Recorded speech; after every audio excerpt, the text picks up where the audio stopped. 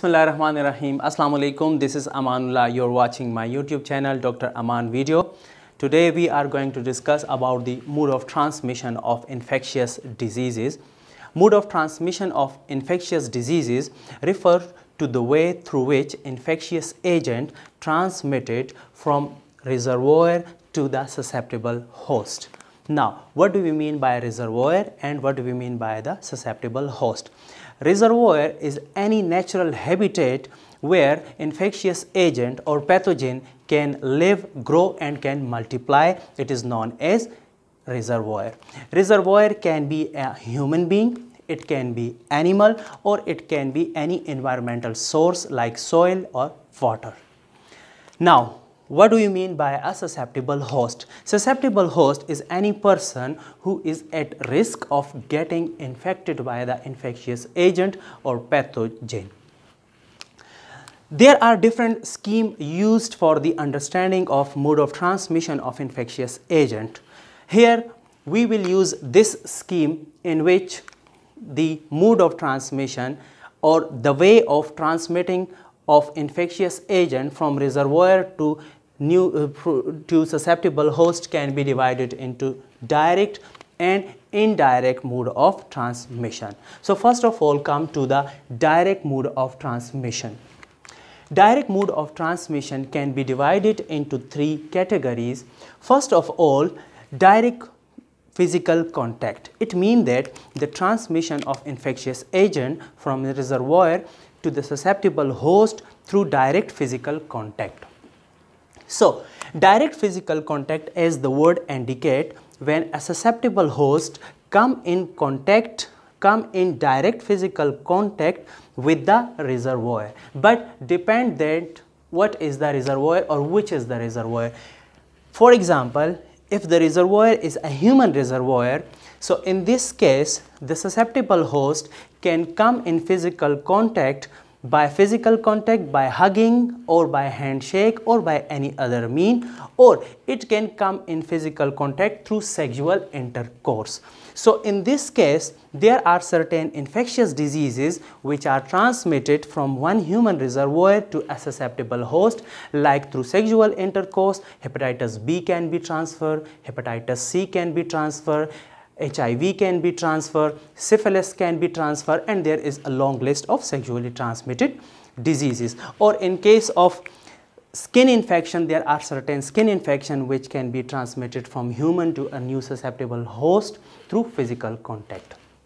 Now, if the reservoir host is animal, so in that case, the susceptible host come in contact with animal reservoir or with the product of the animal reservoir which contain infectious agent. In this way, infectious agent can transmitted from animal reservoir to the susceptible host. For example, Brucella abortus is a bacteria which is transmitted from animal reservoir to the susceptible host when susceptible host come in physical contact with the infectious animal reservoir.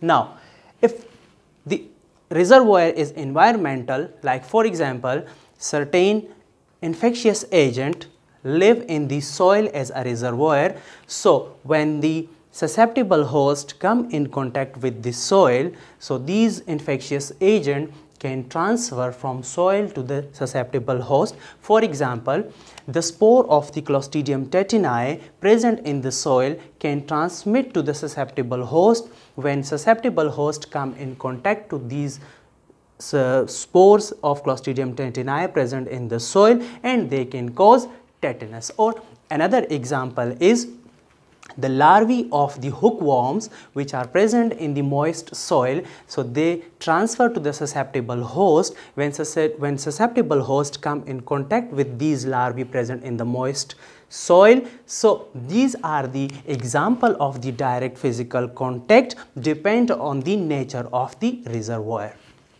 Now the second mode of direct transmission of infectious agent from reservoir to the susceptible host is the perinatal or transplacental.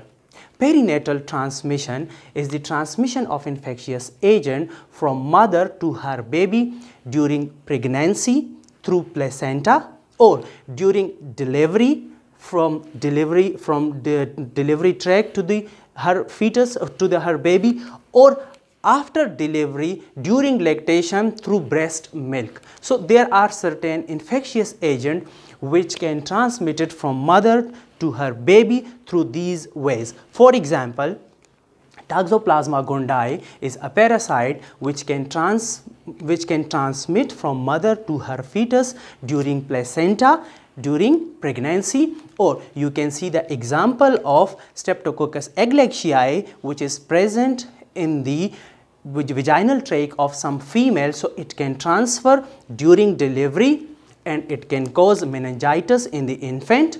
Or you can see that HIV virus or there are many other infectious agent which can transmit it in breast milk during lactation. So, it is also the direct mode of transmission of infectious agent from reservoir to the susceptible host. The third form of direct transmission is direct droplet spread. What are droplet or respiratory droplet? Respiratory droplets are the aerosols which are produced with sneezing, coughing or even talking. So these aerosols are large in size, usually larger than 5 micrometer in size and they are and they travels only for 2 to 3 feet. So there are some respiratory infectious pathogen which can be transmitted from reservoir to the susceptible host through respiratory droplet.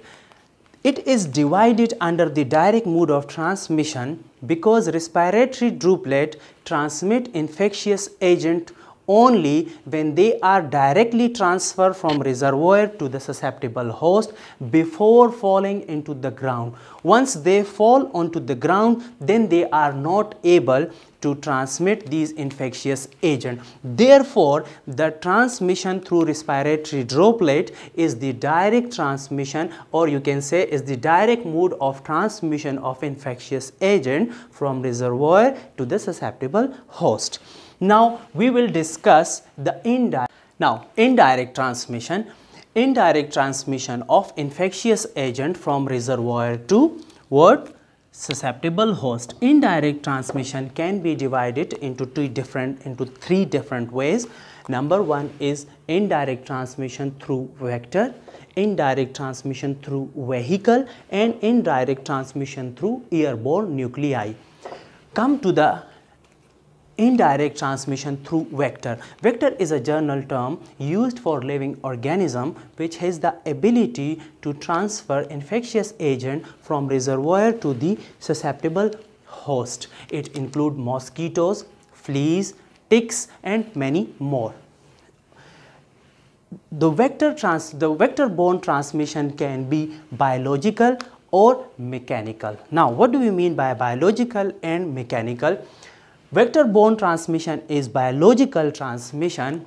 When the vector when the vector provide a space for multiplication or maturation to the infectious agent and then this vector transfer the infectious agent to the susceptible host this type of transmission is known as biological transmission. For example in case of plasmodium malarial parasite so malarial parasites perform several steps of his, its life cycle into the gut of the mosquito, then that mosquito transfer the plasmodium parasite to the susceptible host. So, in that case, the vector is biological vector because it provide a place for the maturation or any other process while in case of mechanical transmission, mechanical transmission is a transmission through vector. In that case, vector did not provide any space for multiplication or maturation rather than vector only transfer infectious agent from reservoir to the susceptible host. For example, in case of shigellosis, Shigella dysentery, the causative agent, a bacterium, Shigella dysentery, is carried by the leg or appendages of the fleas from the stool of an infected person to the susceptible host. So, in this case, only fleas act as a mechanical carrier for the Shigella from reservoir to the susceptible host. So, this type of transmission is known as mechanical transmission through vector. Now, come to the second way of indirect transmission is transmission of infectious agent through vehicle. Vehicle is any object which has ability to transfer infectious agent from reservoir to the susceptible host indirectly for example food and water. Food and water are two important vehicle which usually transfer infectious agent from reservoir to the susceptible host. For example, the infectious agent of cholera, Vibrio cholera or Shigella or Salmonella or there is a large list of water and foodborne diseases. So, in that case water or food act as a vehicle for transferring infectious agent from reservoir to the susceptible host like amoebic dysentery, like giardiasis in case of Giardia lamblia and there are many more infectious agent. The second vehicle which is very important is the blood or blood product. Blood and blood product can also carry or transmit infectious agent from reservoir to the susceptible host like hepatitis B virus, hepatitis C virus, HIV, syphilis and there are many other infectious agent which can be transmitted from reservoir to the susceptible host through blood or blood product. Even blood, even organ for transplant also act is a vehicle for the transmission of infectious agent from reservoir to the susceptible host. Fomites are the non-living object which can carry infectious agent from reservoir to the susceptible host like toys like handkerchief, like door knob, mobile phone, surgical instrument which are used for different surgeries, dental, general surgeries, orthopedic surgeries and many more surgeries. So, these all comes under the heading of fomites and they can transfer infectious agent from reservoir to the susceptible host and this type of transmission come under the indirect mode of transmission. Finally, airborne transmission or transmission through airborne nuclei is a type of indirect transmission. Airborne nuclei are again the aerosols which are produced through sneezing, coughing or talking but they are very small in size usually less than 5 micron and they can suspend in the air for a long time and they can travel a long distance. So there are some respiratory pathogen which can transfer through these airborne nuclei. They, it is divided, it comes under the heading of indirect transmission because these airborne transmission, yeah, these airborne nuclei suspend in the air after removing the reservoir like for example there is a patient of tuberculosis he cough or sneeze and he produce tubercle bacilli into the nuclei and these nuclei suspend in the ear and it and this person this infected person goes away and a second person comes and he or she inhale these tubercle bacilli present in the nuclei. So therefore it is the indirect transmission because nuclei does not directly transfer from infected person to the susceptible host.